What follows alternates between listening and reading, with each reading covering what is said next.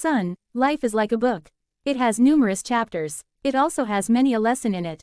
It is made up of a wide variety of experiences and resembles a pendulum where success and failure, joy and sorrow are merely extremes of the central reality. The lessons to be learned from success and failure are equally important. More often than not, failure and sorrow are bigger teachers than success and happiness.